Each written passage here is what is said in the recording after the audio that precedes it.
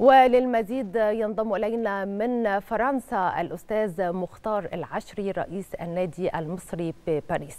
بداية وبعد التحية اليوم هو اليوم الثالث والأخير في عملية الاقتراع للمصريين بالخارج ونعلم بالطبع أنه يعول كثيرا على هذا اليوم في زيادة نسبة التصويت نظرا لأن فرنسا اليوم في عطلة رسمية وربما هذا قد يزيد من نسبة التصويت خصوصا للمصريين القادمين من المدن الأخرى.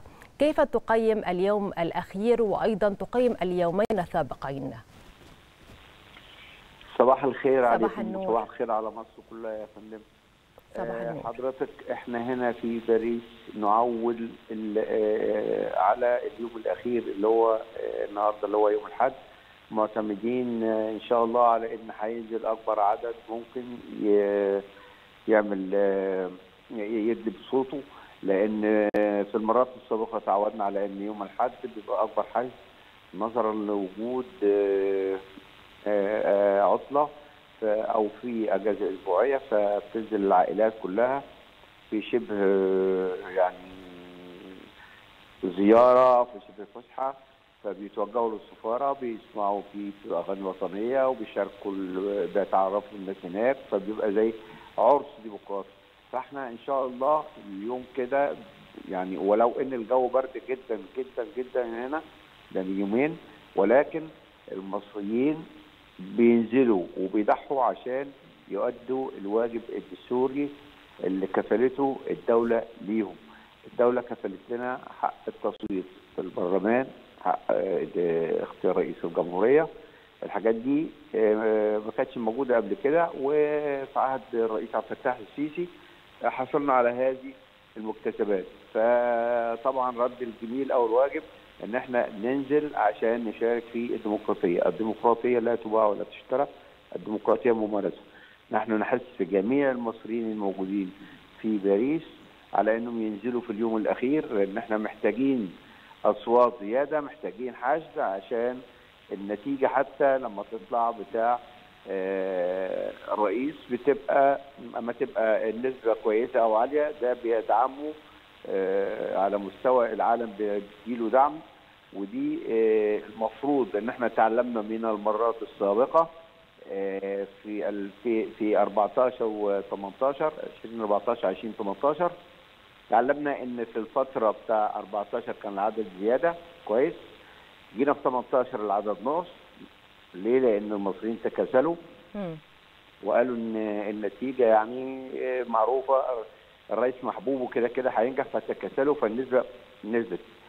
آه المرة دي الوضع بيختلف تماما لسبب لأن إحنا آه في اليومين اللي فاتوا اللي هو اللي هو ال- الجمعة والسبت الناخبين المصريين اللي كانوا بيتوافدوا على السفارة حسينا في روح جديدة هي روح وطنية. حسينا الناس جاية تنتخب مش جاية لرئيس بعينه الناس جاية تنتخب مصر. طب اسمح لي أستاذ المختار يعني سبب هذه الروح الانتخابية هل هو نوع من أنواع زي ما حضرتك ذكرت منذ قليل رد الجميل للأمن والاستقرار آه، في مصر وأيضا الجمهورية الجديدة التي نشاهدها يوم بعد يوم تظهر جليا للنور وأيضا للامتيازات التي حصل عليها المصريون في الخارج؟ يا فندم المر... ال- ال- الدورة دي أو الانتخابات السنة دي بتختلف تماما لأن الظروف تغيرت من جميع النواحي. العالم في حالة انقسامات. آه، في مشاكل سواء في أوكرانيا أو مشاكل كانت الكورونا وبعدين أخيرا مشاكل بتاع غزة. المصريين في الخارج بدأوا يشعروا بان البلد بتتعرض لمخاطر خاصة بعد مشاكل اللي في غزة. فعرفوا أو يعني حسوا إن لابد من اختيار رئيس يكون حازم ورئيس يكون ذو حكمة بحيث يتصرف آه، في الوقت الحالي بطريقة تحفظ أمن واستقرار مصر. من نعم. هو هذا الرئيس الذي يضمن أمن واستقرار مصر؟ هنا السؤال يا مصريين بنقول لهم انزلوا واختاروا واختاروا الرئيس اللي يقدر يحمي مصر ويوفر لها الأمن والأمان والاستقرار. ومصر في مرحلة بناء جمهورية جديدة. مصر في مرحلة آه، التنميه مصر تتوسع للأجيال القادمة وليست للأجيال الحالية. مصر تتوسع لأبنائنا. مصر محتاجة من يكون عنده فكرة أو عنده آه نظرة بعيدة. تصون البلاد. كل هذا آه زائد المكتسبات اللي اعطتها لنا الدولة سواء من افئات جمركيه للسيارات سواء نعم. من بيت الوطن سواء من التأمينات الاجتماعية سواء من إهداء وزارة الهجرة لينا. آه كل الحاجات دي بتحس إن المصريين عليهم واجب إن هم ينزلوا ويؤدوا الجميل. الانتخاب هو حق من الحقوق الدستورية. هذا العام يختلف الانتخاب عن الاعوام السابقة. مصر يحيط بها ظروف حرجة ولا بد من يصونها ويحميها.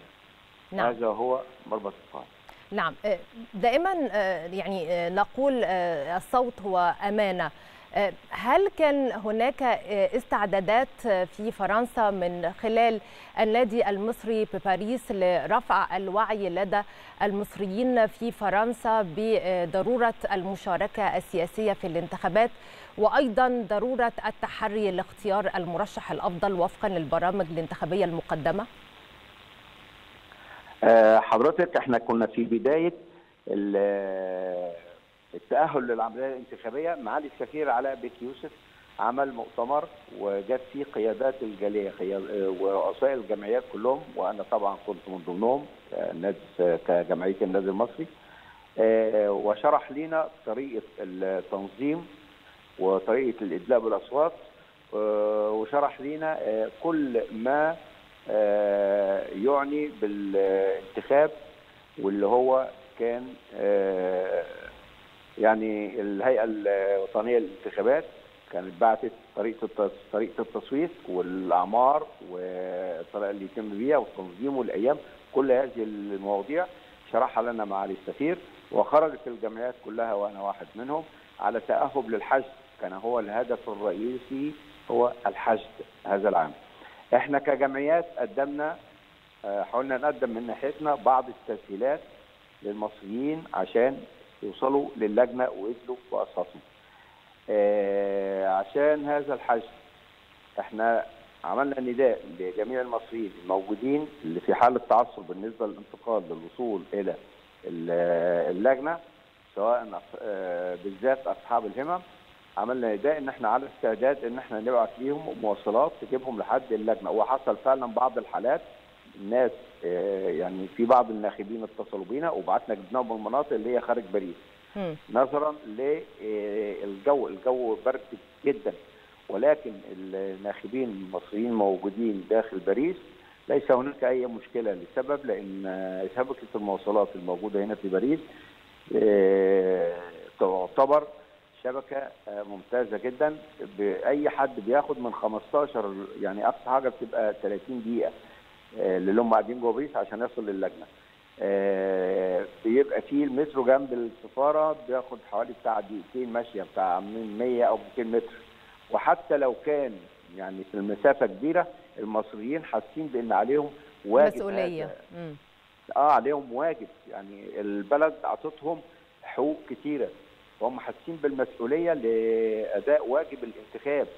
وحاسين بالمسؤولية يثبتوا للدولة أو يثبتوا للقيادة السياسية إن المصريين في الخارج هم من يعبروا عن مصر ومن يصونوا مصر في, الخارج.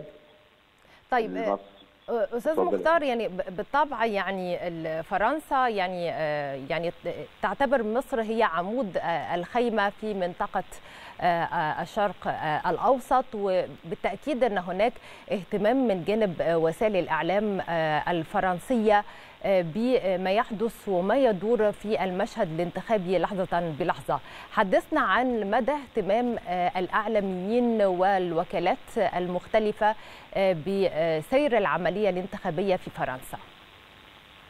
يا فندم منذ أحداث غزة الأخيرة والإعلام الفرنسي يوميا وفي جميع القنوات وجميع وسائل الإعلام كلمة السيسي كلمة السيسي دائما مذكورة في الإعلام الفرنسي. مصر تذكر بالسيسي مصر تذكر لأن المنطقة في خطر ويحيط بها ظروف حرجة الفرنسيين أو الشعب الفرنسي هنا يعلم طبعا وحضراتكم تعرفوا إن في هنا جاليات يهودية كثيره تدعو للسلام وفي يعني الشعب الأوروبي بصفة عامة هو ينظر للسلام وينظر لحقوق الإنسان ويرفض جميع الانتهاكات اللي بتحصل. حضرتك في المرحلة الأخيرة سياده الرئيس عبد الفتاح السيسي تصرفه بحكمة في هذا الملف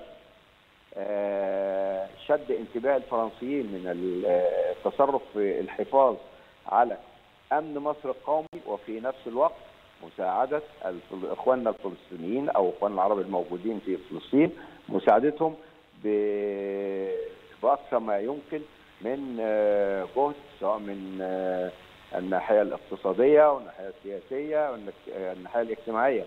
هذا ما جعل الفرنسيين حضرتك إحنا أمام سفارة في الأمن الفرنسي عربيات اللي هي بتاع البوليس كلها موجودة نعم.